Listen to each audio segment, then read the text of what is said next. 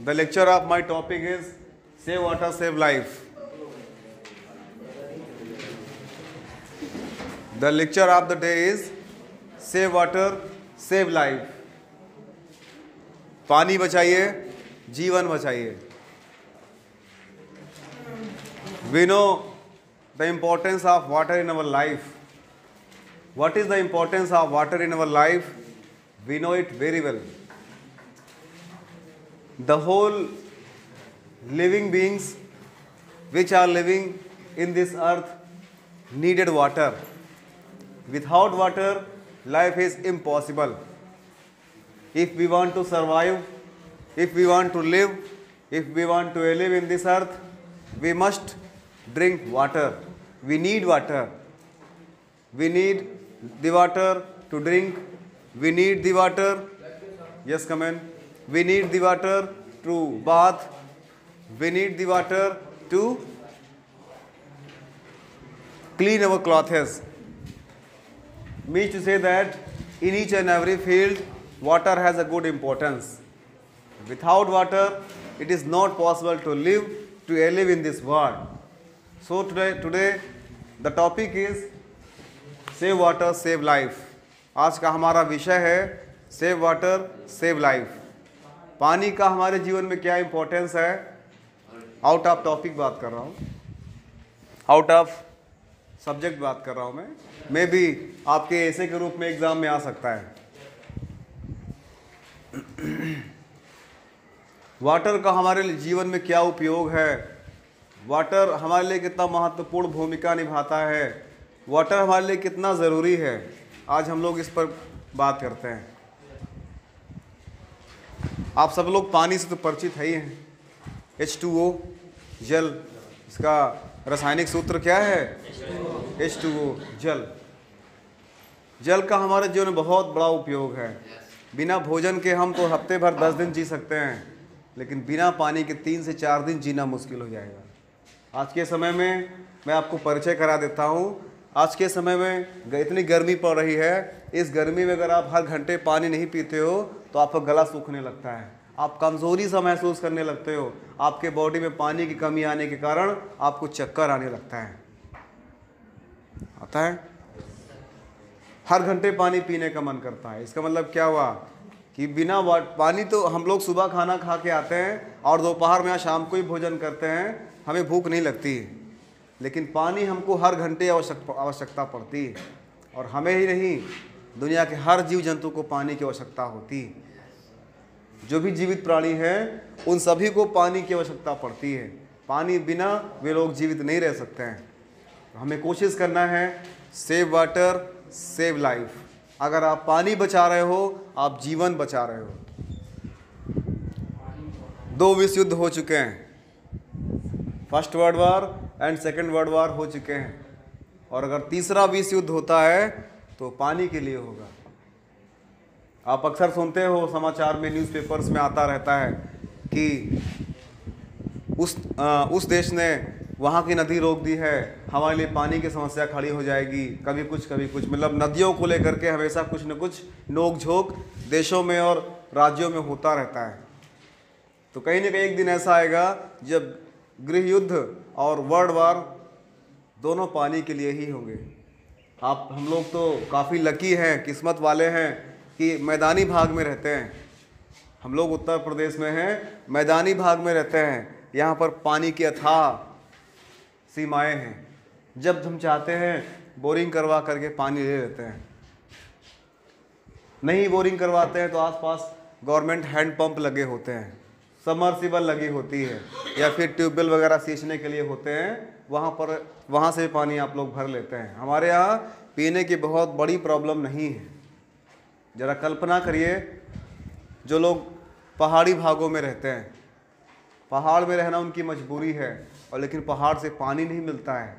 पानी लेने के लिए उन्हें नीचे उतरना पड़ता है। और कल्पना करिए, अगर आपको 100 मीटर बाल्टी लेके हाथ में चलना पड़ता है हाथ दुखने लगता है, दर्द करने लगता है, पैर दर्द करने लगता है, लेकिन जो लोग इतनी ऊँची पहाड़ी से नीचे उतरते हैं पानी लेने के लिए और पानी लेकर फिर ऊपर चढ़ते हैं, उनकी क्या गुजरती होगी? कई कई किलोमीटर चलना पड़ता है पानी भरने के लिए, पानी पीने वाला पानी भरने के लिए।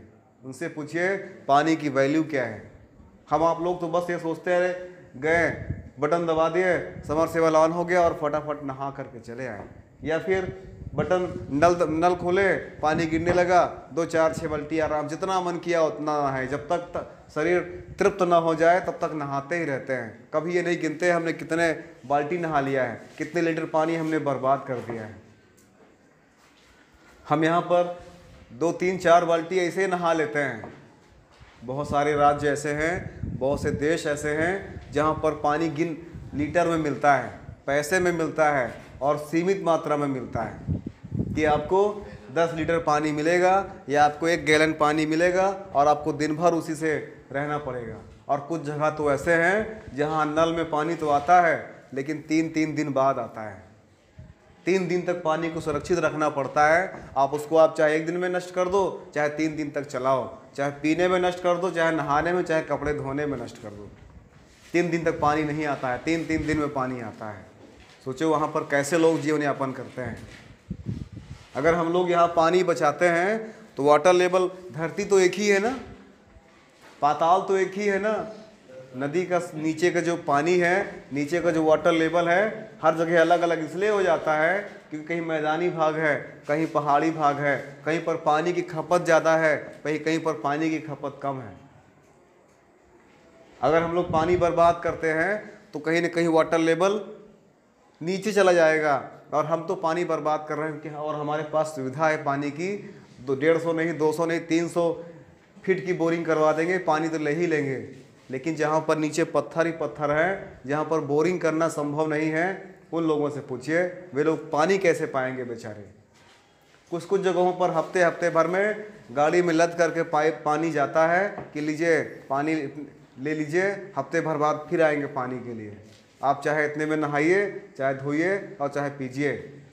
हफ़्ते हफ़्ते भर हो जाता है उनको नहाए हुए गर्मी के दिन में। और हम आप लोग तो रोज़ नहाते हैं, दो दो बार नहाते हैं, तीन तीन चार चार बाल्टी नहाते हैं। नहाना ही है, एक बाल्टी नहा लो। बहुत कर बहुत मन कर रहा है, दो बाल्टी नहा लो। अगर आप हर दिन ये अपने आप से प्रॉमिस कर लो, मैं पानी में भी कटौती करूँगा, बिजली में भी कटौती करूँगा, ठीक है ना? तो देखिए, आपको 24 घंटे लाइट भी मिल जाएगी और आपको, आपके सुविधा अनुसार पानी भी मिल जाएगा। और आपको ही नहीं, आपके अपनों को भी जो पानी के लिए तरसते हैं, जो बिजली के लिए तरसते हैं, उनको पानी और बिजली आसानी से मिल जाएगी। तो इसलिए मैंने आज का टॉपिक रखा है सेव वाटर सेव लाइफ हमें से रोज़ रोज़ सब लोग नहा के आते हैं, और कहा भी जाता है कि आप लोग रोज़ नहा करके आइए।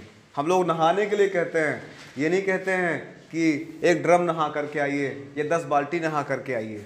आप नहा सकते हैं, एक बाल्टी में भी नहा सकते हैं आराम से। नहाने का अगर मन है, आदमी एक बाल्टी में भी नहा सकता है। और अगर नहीं नहाने का मन है तो समर सेवल चला दिया और आराम से नहा रहे हैं घंटे घंटे भर और पानी कई सौ लीटर बह जाता है, बर्बाद हो जाता है। अभी सोचो अपने आप में कि जो पानी हम बर्बाद कर रहे हैं, अगर वही पानी हमारे उन लोगों को मिल जाए, हमारे देश के उन लोगों को मिल जाए, जो पानी के लिए तरसते हैं, जो पानी के लिए भूखों मर जाते हैं, पानी के लिए प्यासे मर जाते हैं। बहुत सी स्थिति ऐसी आती कहीं कहीं पर, वो प्यास के कारण मर गया, क्योंकि उसको पानी समय से नहीं मिल पाया। हफ़्ते भर बाद पानी आना था, और उसका पानी दो दिन में ही ख़त्म हो गया था, या उसका बाल्टी लीक हो गया था, या उसका बाल्टी का पानी धक्का लग के गिर गया था। अब आस पास वाले को पानी नहीं दिए और सुबह उठकर देखा गया तो बगल वाला मरा पाया गया। पानी की कमी के कारण। तो उसका दोषी वो नहीं है, उसके दोषी हम लोग हैं जो दिन भर पानी बर्बाद करते हैं। अगर हम आज पानी न बर्बाद किए होते तो कुछ पानी उसके लिए पहुँच गया होता। जहाँ हफ़्ते में पहुँचना होता है, वहाँ दो तीन दिन में पहुँच जाता। हम बचाएँगे तब तो बचेगा ना। हम तो अपनी सुनते हैं, हम तो अपनी देखते हैं, हम तो अपना आराम देखते हैं। दूसरों से हमें कोई चिंता नहीं है। हमने नहाना शुरू कर दिया। ये नहीं देखते हैं कि नाली का पानी कहाँ जा रहा है। कहीं रोड पे तो नहीं बह करके आ रहा है। कहीं सड़ तो नहीं गया है पानी। हमसे क्या फ़र्क पड़ता है? जिसको आवश्यकता होगी वो नाली साफ़ करेगा ना। नाली साफ़ करने के लिए सरकार ने सफ़ाई कर्मी बनाए हैं ना। आप ही क्या ज़िम्मेदारी बनती है? हमारी भी कुछ ज़िम्मेदारी बनती है ना। हम भी तो इस देश के अच्छे नागरिक हैं। हम भी तो पढ़े लिखे समझदार हैं। हमको भी तो हमारा भी तो अधिकार है इस धरती पर। हमारा हमारा भी तो अधिकार है यहाँ के सारे प्राकृतिक संसाधनों पर। हम कितना उपयोग करते हैं उसको और कैसे उपयोग करते हैं उसका? कहीं दुरुपयोग तो नहीं कर रहे हैं उसका? ये हमको आपको सोचना है। तभी हमारा देश तरक्की करेगा और हमारा देश तरक्की करेगा तो श्योर है कि दुनिया में हमारा स्थान होगा। आपको याद होगा, एक ज़माने में हमारा देश विश्व गुरु कहलाता था, सोने की चिड़िया कहलाता था। इतना धनी देश कोई था ही नहीं, और इतना समृद्ध और इतना शिक्षित भी कोई नहीं था। यहाँ के ऋषि ऋषि मुनि भी शिक्षित हुआ करते थे। बड़ी बड़ी किताबें लिख दिए हैं। उनको आज हम लोग पढ़ते हैं। हम लोग पढ़ करके विद्वता हासिल करते हैं आज, इस साइंस के युग में। जो साइंस आज बता रहा है कि सूर्य से पृथ्वी की दूरी कितनी है? पृथ्वी का कलर कैसा है और पृथ्वी किस आकार में है, पृथ्वी कहाँ से कहाँ घूमती है, आज से हज़ार साल पहले हमारे देश के मनीषियों ने, हमारे देश के ऋषियों ने सारी बातें बता दी थी। बिना किसी यंत्र के, बिना किसी साइंस के बता दिया था। तो कहीं ना कहीं उनका साइंस आज के साइंस से बहुत आगे था। आगे होने का कारण क्या है? वे लोग ईमानदारी से देश की सेवा में काम करते थे, समाज की सेवा के लिए काम करते थे। और आज आज के लोग क्या है, अपने स्वार्थ के लिए काम करते हैं। इसीलिए कहीं ना कहीं तरक्की नहीं हो पाती है। आप लोगों को इस मिथ्या को दूर करना है। जो समाज की समस्याएँ हैं, उन समाज की समस्याओं को अपने ऊपर लेना है। और उन्हीं समस्याओं के, समस्याओं में रहकर तो बड़े हो सकते हैं, लेकिन बड़े होने के बाद जब आपको अधिकार मिलेगा तो पहले हमें उन समस्याओं को दूर करना पड़ेगा। बहुत से नेता ऐसे होते हैं, बहुत से प्रशासनिक अधिकारी ऐसे होते हैं, बहुत से विद्यार्थी ऐसे होते हैं जो जब उनको कोई जॉब मिलती है या अच्छा स्थान मिलता है या उनको अधिकार मिलता है कि वो समाज के लिए कुछ कर सकें, उनको पावर मिलती है तो सबसे पहले वो उसी कमियों को दूर करने का प्रयास करते हैं जो उन्होंने बचपन में सोच रखा था। जो बचपन में उनकी कमियाँ थी जो बचपन उन्होंने परेशानियाँ झेली थी, उन परेशानियों को पहले दूर करने का प्रयास करते हैं। यह सोच करके कि हमारी आगे आने वाली पीढ़ी इन परेशानियों से ना जूझे। शिक्षा को ले लीजिए। आज कोई भी सरकार आए, हर प्रशासनिक अधिकारी कोशिश करता है कि शिक्षा का स्तर बढ़े। शिक्षा के स्तर के बढ़ने से हर एक क्षेत्र में विकास संभव है। अगर आप शिक्षित हैं, आप समझदार हैं, आप पढ़े लिखे हैं तो आपको अच्छे से ज्ञान होगा कि क्या उचित है और क्या अनुचित है। हमें किस चीज़ का कितना उपयोग करना है, आप अच्छे समझ पाओगे, अगर आप शिक्षित हैं तो। छोटी से छोटी चीज़ से लेकर के बड़ी से बड़ी चीज़ों को आप अच्छे से आकलन कर सकते हैं, एक अच्छे से रख रखाव कर सकते हैं, उसका सही उपयोग कर सकते हैं, लेकिन सिर्फ़ एक ही शर्त पर अगर आप शिक्षित हैं तब। अगर आप अशिक्षित हैं, आपको पढ़े, आपको किसी चीज़ से कोई ज्ञान नहीं है तो मन मौजी आप चलोगे। दुरुपयोग करोगे, पानी का दुरुपयोग करोगे, बिजली का दुरुपयोग करोगे, और अन्य प्राकृतिक संसाधनों का भी आप दुरुपयोग करोगे, क्योंकि आपको उसका सही से उपयोग करना आता ही नहीं है। हम लोग अक्सर शिकायत करते हैं गर्मियों में कि बिजली बहुत करती है कम से कम बिजली 20 घंटा 22 घंटे रहना चाहिए या फिर चौबीसों घंटे लाइट रहना चाहिए। कैसे लाइट रहेगी? क्या आपने कभी सोचा है, हम कमरे से बाहर जा रहे हैं, फ़ैन ऑफ़ कर दें या लाइट ऑफ़ कर दें, एक घंटे बिजली बचाओगे, एक घंटे बिजली और बढ़ जाएगी। अगर 16 घंटे बिजली आती है, आप सोलह घंटे उसका पूर्ण उपयोग करते हो। रहो चाहे ना रहो, फ़ैन चल रहा है। घर में कोई हो चाहे ना हो, हर चीज़ चल रहा है। लाइट जल रही है, टीवी चल रही है, फ़ैन चल रहा है, कूलर चल रहा है, आप घर पे नहीं हैं, आपकी बिजली बर्बाद जा रही है। और बिजली बर्बाद तो जा रही है सोलह घंटे के लिए। आप अगर आओगे, पता लगा आप जैसे कमरे में घुसे, लाइट चली गई। तो इसका दोषी कौन है? न सरकार है, न विद्युत विभाग है। उसके दोषी सिर्फ़ आप हैं। क्योंकि जब तक आप नहीं थे, आपने लाइट का पूर्ण उपयोग किया। लाइट तो जल रही थी, बल्ब चल रहा था, फ़ैन भी चल रहा था। लेकिन जब आप आए तो लाइट जाने का समय पूरा हो गया और लाइट चली गई। फिर आप लोग बताइए, हम जैसे आए और लाइट अच्छी नहीं है, सरकार ठीक नहीं कर रही। सरकार क्या करे बेचारी? सरकार तो संसाधन जुटाती है आपको अच्छा बनाने के लिए। आप कितना सहयोग करते हो? सरकार का और प्रशासन का? समाज के विकास में आपका क्या योगदान है? वही अगर दो घंटे आप कमरे से बाहर थे और दो घंटे फ़ैन चल रहा था। अगर उसको आप बंद किए होते तो दो घंटे की लाइट आप बचा लेते कि नहीं बचा लेते? और अगर दो घंटे की लाइट आप बचा लेते तो आगे दो घंटे और लाइट बढ़ जाती है। सोलह से लाइट अठारह घंटे हो जाती ये सोचिए ना, अगर आप चार बाल्टी नहाते हैं पर डे, चार बाल्टी आप नहाते हो और वाटर लेवल नीचे जा रहा है लगभग डेढ़ सौ की डेढ़ सौ, दो सौ, ढाई सौ बोरिंग करनी पड़ती है, फिट, तब जाकर के पानी मिलता है। तो अगर आप दो बाल्टी नहा, दो चार बाल्टी नहाते हो, अगर आप दो बाल्टी नहाना शुरू कर दोगे तो वही वाटर लेवल धीरे धीरे ऊपर आना शुरू हो जाएगा, क्योंकि आपने कटौती की है, पानी से पानी से कटौती की है। तो वाटर भाई जब आप बराबर खींच रहे हो तो पानी नीचे घटता जाएगा, लेकिन जब आप कम खींचोगे तो धीरे धीरे वाटर लेवल फिर से ऊपर आ जाएगा। और आपके साथ साथ जो अन्य ग्रामीण तबके के लोग हैं या पहाड़ी पर्वतीय भाग के लोग हैं, उनको भी कहीं ना कहीं पानी मिल जाएगा। हम लोग तो ढाई तीन सौ बोरिंग, फिट की बोरिंग आराम से करवा लेते हैं, क्योंकि पत्थर नीचे नहीं मिलता है। थोड़े बहुत कंकड़ मिलते हैं बस, लेकिन जो पहाड़ी भाग होते हैं, वहाँ पर हो ही नहीं पाता है। महीने महीना, दो दो महीना, तीन तीन महीने तक बोरिंग होती रहती है। हमारे यहाँ क्या तीन चार दिन में बोरिंग हो जाती है ना? समर सेवल की बोरिंग कराओ, दो तीन दिन में फिनिश लेकिन वहाँ पर क्या है? कई कई महीने चल रहा होता है, क्योंकि पत्थर काट रहे होते हैं, पत्थर कटता नहीं है, मशीनें घिस जाती हैं, पाइप तक घिस जाते हैं, जो नीचे काटने वाला होता है, वो तक घिस जाता है। इतने हार्ड पत्थर होते हैं तो ऐसी स्थिति में पानी निकालना बड़ा मुश्किल होता है। हमारे यहाँ कुछ हज़ार में लोग बोरिंग करवा लेते हैं, वहाँ पर कई कई लाख लग जाते हैं एक एक बोरिंग करवाने के लिए। अगर वो वाटर लेवल ऊपर पहुँच जाएगा तो उनको कम खर्च में भी पानी मिल जाएगा। तो हमें अपने साथ साथ अपने जो और हमारे देश के निवासी हैं, उनकी भी चिंता करनी है। कभी सोचा कभी सोचा है आपने, या कभी महसूस किया होगा आपने, अगर आपका पेट भरा है और बगल वाला कोई पड़ोसी है, उसका बच्चा भूख, भूखा है और रो रहा है, आपको नींद आएगी? आपको नींद नहीं आएगी। जितना आपके पेट भरे होने पर आपको संतुष्टि मिलती है उससे कहीं ज़्यादा अगर आपने अपने हिस्से का किसी और खिला दिया, उसमें अधिक संतोष मिलता है। अगर आपका पेट भरा हुआ है तो उतना खुशी तो मिलती है, लेकिन अगर आपने किसी दूसरे का पेट भर दिया है, किसी दूसरे की मदद कर दिया है तो उसमें और संतुष्टि मिलती है।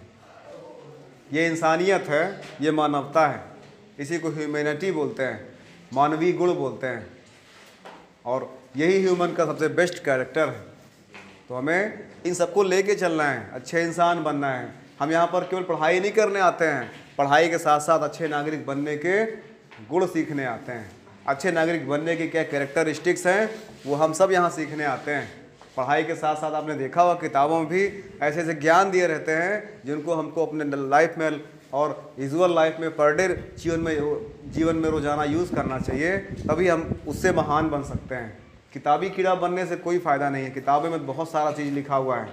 लेकिन किताब से आप कितना सीख पाते हो और उस सीख को अपने जीवन में कैसे उतार पाते हो, अपने व्यवहार में कैसे ला पाते हो, ये अधिक महत्वपूर्ण है।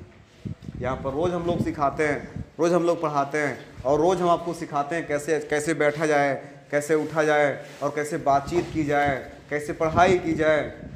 सिखाते हैं ना?